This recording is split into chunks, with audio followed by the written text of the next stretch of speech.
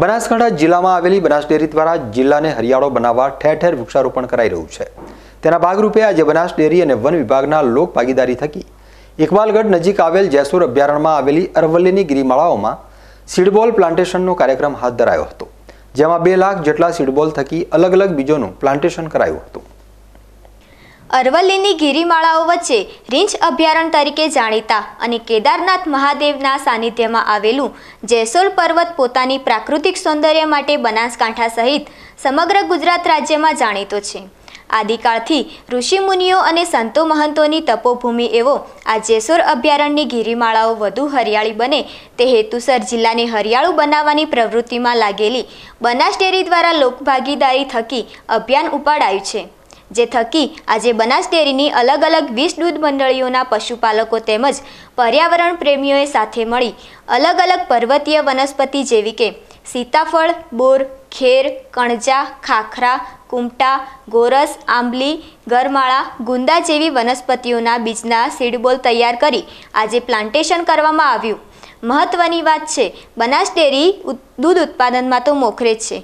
પરંતુ તેની સાથે સાથે ડેરી દ્વારા અલગ અલગ પ્રવૃત્તિઓ પણ હાથ ધરાતી હોય છે. ત્યારે બનાસ ડેરી દ્વારા છેલ્લા બે વર્ષથી વૃક્ષારોપણ થકી જિલ્લાને હરિયાળો બનાવવાનો નિર્ધાર કરાયો છે. જે થકી જિલ્લામાં બનાસ ડેરી દ્વારા અલગ અલગ જગ્યાએ વૃક્ષારોપણના કાર્યક્રમો હાથ ધરાતા હોય છે. ત્યારે આજે યોજાયેલ સીડબોલ પ્લાન્ટેશન કાર્યક્રમ થકી જેસોર અભયારણ્યમાં આવેલી અરવલ્લીની ગીરીમાળાઓમાં બે લાખ સીડબોલ થકી છ લાખ બીજવારાનું પ્લાન્ટેશન કરાયું છે. બનાસ એ રણને અડીને આવેલો સૂકો પ્રદેશ છે, પરંતુ તેને હરિયાળો કરવાનું અભિયાન બનાસ ડેરીના માધ્યમથી બનાસવાસીઓએ ઉપાડ્યું છે. છેલ્લા ચાર વર્ષથી દર વર્ષે એક એક કરોડ વૃક્ષો બહારથી લાવીને એને વાવેતર કરવું અને સ્થાનિક કક્ષાએ પણ વાડ અને બાકી જગ્યા ઉપર કોઈ એનું કપાય નહીં, એનું ધ્યાન રાખ્યું છે. આ વર્ષે જેસોર પર્વતને હરિયાળો કરવા માટે સોળ જેટલી ટીમો તૈયાર થઈ અને સોળે ટીમો સો સો લોકો સાથે અલગ અલગ વિસ્તારમાંથી ઉપર ચડી પર્વત ઉપર. અને ત્યાં સીડ બોલ તૈયાર કર્યા છે, જેની અંદર એક એકમાં ત્રણ ત્રણ બીજ નાખ્યા છે. એ ત્યાં આગળ રોપણ કરવા માટે પર્વત ઉપર ગયા. વરસાદ હવે જ્યારે આવે ત્યારે એની અંદરથી એક નવા વૃક્ષો ત્યાં આગળ ઉગી શકે. પ્રકૃતિનું સંવર્ધન કરવું એ આપણી બધાની જવાબદારી છે. અને જો બનાસની અંદર આ પર્વતો છે, હરિયાળા થઈ જાય, ત્યાં જો વૃક્ષો મોટા પ્રમાણમાં થાય, તો અહીંથી નીકળતા વાદળ ત્યાં અટકે અને વરસાદ આ ધરતી ઉપર આવે.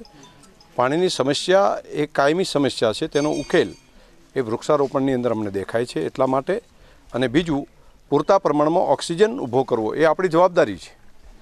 બનાસ આજે સૂકો પ્રદેશ છે, પણ ભવિષ્યની અંદર ગુજરાતના ઓક્સિજન માટેના ફેફસા બનાવવાનું કામ એ બનાસવાસીઓએ કરવાનો સંકલ્પ કર્યો છે. મને ભરોસો છે કે ગણતરીના વર્ષોની અંદર બનાસ એક હરિયાળો પ્રદેશ તરીકે આખા રાજ્યની અંદર અને દેશની અંદર ઓળખાતો હશે.